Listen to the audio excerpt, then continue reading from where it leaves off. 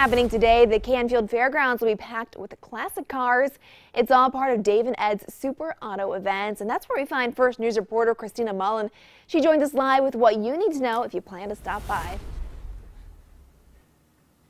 The gates just opened for the 25th annual Dave and Ed's Super Auto events. It runs from 8 until 4 today. A lot of fun. It's 7 bucks if you want to come in. There's a car show, car corral, anything cars. We're talking everything cars this morning. And if you have kids, if they're 10 and under, they're free.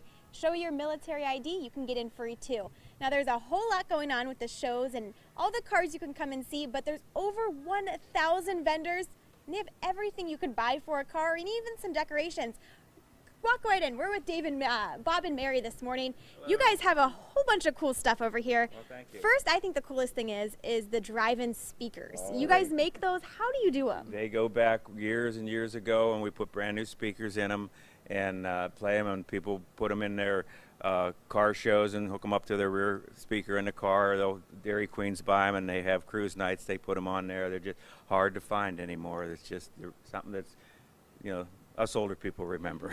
I remember it, and I'm, I, I like to think I am not that, that old.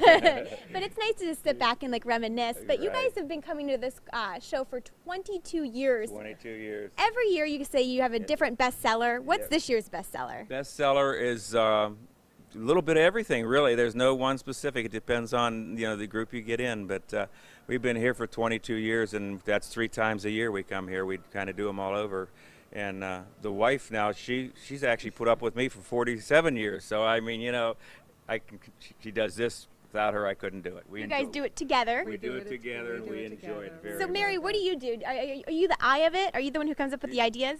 Uh, somewhat. My kids also help uh, we've got grown sons and they help with like they came up with the ideas for the man cave signs and stuff like that. We said oh that's a good idea. And then i make up the decals and stuff for them and uh, help with whatever he needs help with, we go shopping together for to find stuff to sell. Uh, and I'm not talking about shopping down the street. You guys go all over the country to yes, find this stuff. You guys are from Austintown, but what are some other car shows you've been to oh, throughout the country? Do, uh, the Canton High Performance one. We do in Wisconsin. We do the Wisconsin. We do in Maine. Jefferson, we do in Wisconsin. Jefferson. Allentown, uh, Pennsylvania. Yeah. All uh, over the place. Over but you guys can come and check them out here today at the Canfield Fairgrounds at the Dave and Ed Super Auto events.